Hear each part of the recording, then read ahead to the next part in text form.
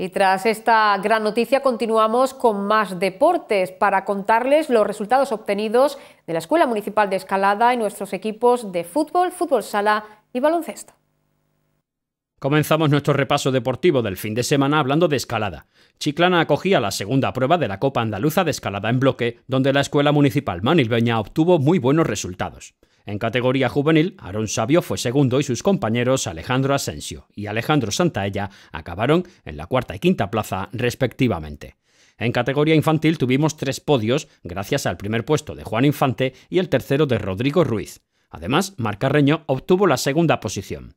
En la jornada del domingo llegaba el turno de la categoría absoluta, donde Rogelio Pascual logró la quinta plaza. En fútbol destacamos la convocatoria de las tres jugadoras del Unión Manilva con la selección alevín femenina de Málaga. Maya Schilling, Andrea Bernal y Raquel Carrasco completaron el pasado sábado su primer entrenamiento con el combinado malagueño.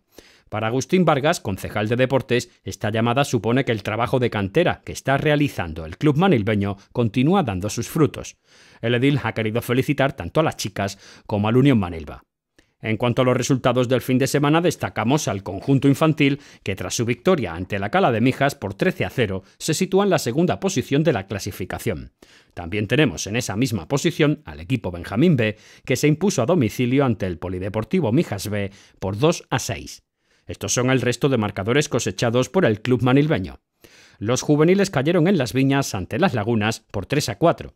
En categoría cadete, Pablo Picasso 3, Unión Manilva 2.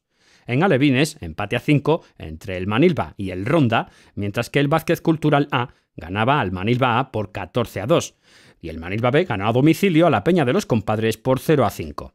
En Benjamines, Calamijas 1, Unión Manilva 2 y Las Lagunas 12, Manilva A 2. En Prebenjamines, Juventud de Torremolinos 5, Manilva 3 y Juventud de Torremolinos B 10, Manilva B 0. Por último, el conjunto BB caía en casa ante el Estepona por 3 goles a 8.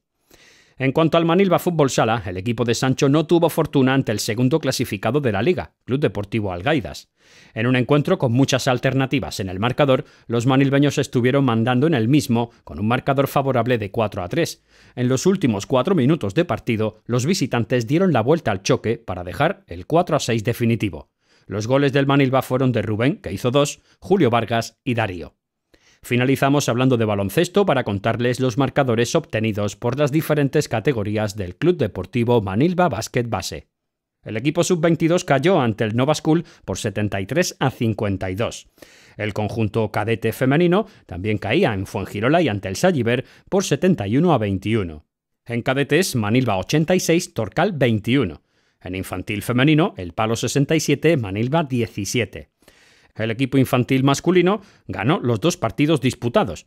Málaga Basket 16, Manilva 42 y Club Baloncesto Miramar 4, Manilva 54.